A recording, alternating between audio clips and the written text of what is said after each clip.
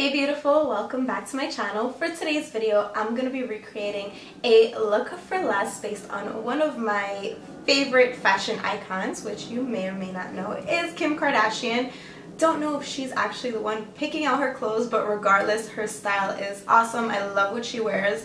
And she's probably my biggest fashion inspiration, her and Kanye because you guys know I like to dress like a boy sometimes. So there's that. But I'm going to pop in a photo right now of the inspiration for this look and I saw it. I fell in love with the outfit. I think it's so clean, classy, really nice outfit and really simple pieces to put together.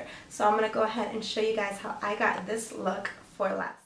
So let's start with the shoes. These classic black suede pumps are from H&M. They are actually super comfortable, not too high, and I can walk around in them. So they've definitely been a favorite. They're also a staple piece to have in your wardrobe, so something that you can definitely wear again and again with lots of outfit um, outfits. My slacks are wide leg um, pants from Express. The belt actually came as part of another dress that I had, so I just used it for this to cinch in the waist. Any plain black wide belt is good and I have my H&M um, plaid shirt which is like 20 bucks and I do have a black bra on because she had a black bra peeking through in the look. So super quick simple basic pieces that you can wear again and again and you can use to recreate this look for less of Kim Kardashian. I hope you guys have enjoyed this video. Don't forget to like